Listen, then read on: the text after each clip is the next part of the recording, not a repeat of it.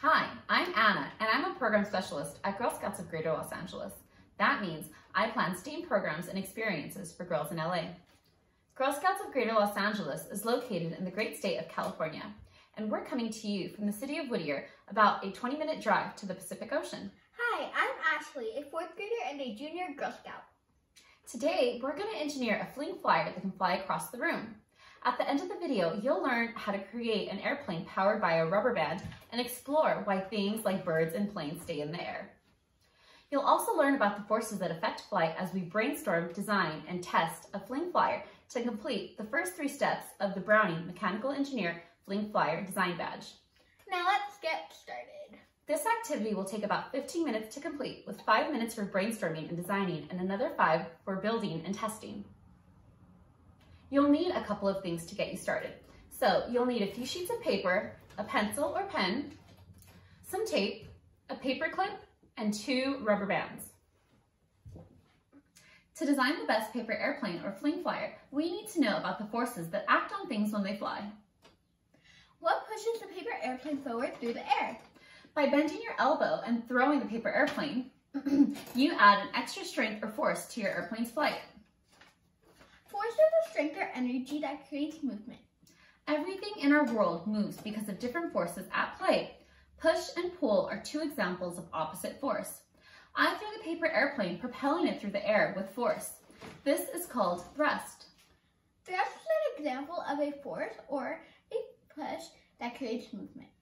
The airplane slows down because there are little molecules of air that act with force against it, causing it to slow down. This is called drag. Drag is another example of force. It is a pull or the opposite of thrust. What are some things that cause drag? Wind can be something that causes drag. When I throw the paper airplane, it comes back down, right? Why does that happen? Gravity is another force, um, and that pulls objects towards each other. For example, when you drop a ball, it falls to the ground because the Earth's gravity pulls the ball towards it. If you jump up, gravity brings you back down to the ground, right? It does. Try it. Jump up and see if you float or if you head back to the ground. When we threw our paper airplanes, did it fly straight? If it didn't, why do you think that happened? The wings bounce off air, causing the air to push back on the wings. That is why paper flutters to the ground instead of falling straight down. This force is called lift. Lift is the opposite force of gravity. Lift can be affected by shape. For example, if you dropped a ball, would it flutter like dropping a paper airplane?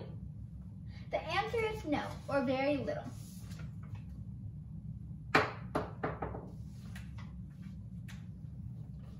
The wings help the airplane move against and through the air. Even when the airplane is falling, the wings are still at work, causing it to fall to the ground slowly. Here's a fling flyer that I created using the materials that you'll have available today. While mine is a good starting point, I encourage you to use your imagination to come up with a fling flyer that will maximize its ability to fly. Use the materials to make a fling flyer any way you'd like. Think about whether you'd like your fling flyer to fly far, stay in the air for a long time, or be able to do tricks. What you want your fling flyer to do will inform your design. Now, you're gonna take a crack at creating your own fling flyer using the materials. Before engineers build things, they plan their design. Designing your product before you build allows you to think through any problems or troubleshoot ahead of time. Draw your fling flyer to help figure out how to build it. If you already have ideas of how to make your fling flyer better, go ahead and add those to your design now. Now, feel free to pause this video at any time to start designing your product. Here's our design. As you can see, we have really long and narrow wings. We thought that this would be great because we want our fling flyer to fly really far. Now, go ahead and use your design to start building your fling flyer. We're gonna start building as well, so you can always follow along if you'd like. So, I have a sheet of regular copy paper and I colored a little bit. I did a little bit um, of sketching. So um, if you'd like to color yours, you may do so, or you can use some wrapping paper that already has a design or some construction paper. So let's start by folding this in half. Just like so. And then if you open it up, you can see you have a really nice crease. what you'll do next is you'll take this end and fold it to that center crease and you'll do the same thing on the other side. So go ahead and do that now. Or if you're building however you'd like, go ahead and get to it. All right, so this is how your paper airplane or fling flyer should look if you're following our design. Now next, you're gonna get this corner and you're gonna fold it in to your center crease, like so. You can see my long, narrow wing is starting to form. You'll do the same thing with the other side.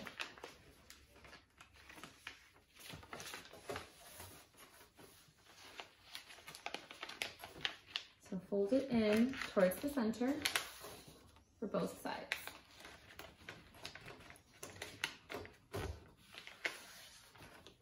All right, so you'll go ahead and get your paper airplane and fold it along the crease.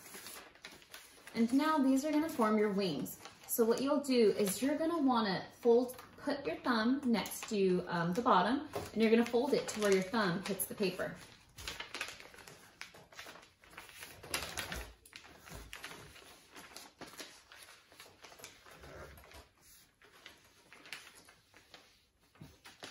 Go ahead and fold it however you'd like. So you want it to have really long wings or really short wings.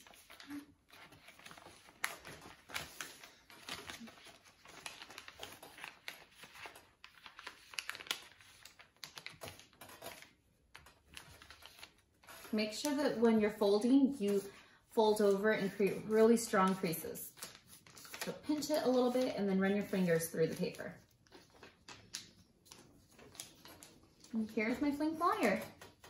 Now, the next step is we're gonna be um, using our paper clip, or if you don't have a paper clip, you can grab your bobby pin, and you're gonna attach this to the airplane's body so that we have something to launch it with. So if you have a bobby pin, go ahead and open it up to create an L. And if you have a safe, uh, I'm sorry, a paper clip, go ahead and unwind it and create an L with it. Now be careful and do it gently. So I'll do it on this side. So as you can see, now it looks like an L, right? so the longer part of that, we're gonna use and poke through the center of the paper. If you have a bobby pin, it might be a little bit difficult. So you can get a pencil or a pen and poke a hole right through it. I poked a hole just like so. Do you need help? Oh, there you go. So she got it. So then you're gonna take your bobby pin or your paper clip and uh, feed it through that hole that you created, like so. So you'll see the paper clip is aligned here with the center, and then you can see that it's at the bottom as well. Now go ahead and get a piece of tape and tape it on to make sure that it sticks to it really well. So just right to the center on the inside, yes. So open it up and you can have um, someone help you if you need to. And tape it down. Great. And what I like to do is I like to add just a little bit of tape to the back so that it can clip the body together. Would you like some tape? Yes, please. Here you go. Thank you. Like this? Um, no. So make sure that your wings are up high so that you don't um, tape your wings down because we need those. You just tape it along the back.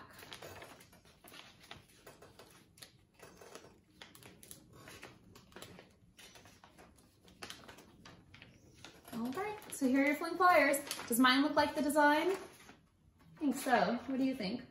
Yeah. Okay, now we're gonna test our fling flyers. We're gonna be going outside. So if you'd like to test yours outside, make sure to ask an adult and have them go with you. You ready, Ashley? Yeah. Now let's test our design. Let's test to see how far a fling flyer goes, how long it stays in the air, and let's see if it can do any tricks. Now, using your rubber band, you're gonna use this to launch your fling flyer. So you're gonna use your finger and your thumb to pinch it, and then you're gonna pull on one end. This is gonna be the end where you put your paper clip or bobby pin. You're gonna go like this and squeeze near the body of your plane, and then let go, and it will launch. So let's test it a few times.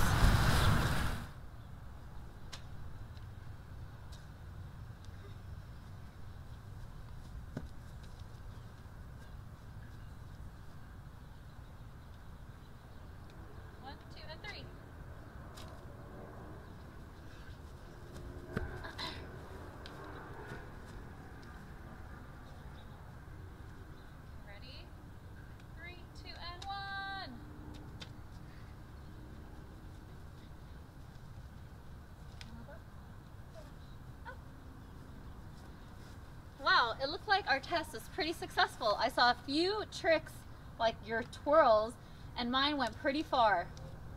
All right, let's head back inside.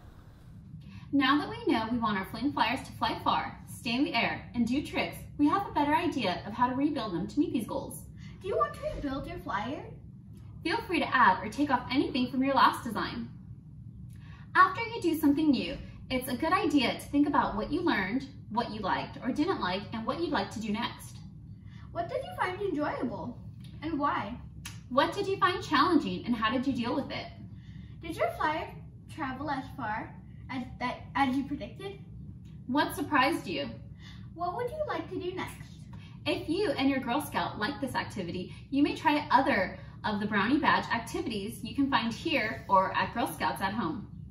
Your troop leader can find the rest of the steps for the Brownie Mechanical Engineering Fling Flyer Design Badge in the Volunteer Toolkit, or you can get it at our Girl Scout shop at girlscoutshop.com. And if you earned your badge, you can ask your adult to order it too. And if you are not yet a Girl Scout and you want to join, go to girlscout.org to learn more. See, See you next time. time.